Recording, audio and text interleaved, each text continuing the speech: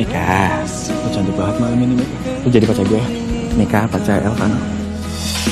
Sekarang lo bisa tanding sama cowok itu. Enggak, lo bilang aja lo takut. Dan aku udah janji Kisan, aku bakal ngabisin yang ngelecehin dia.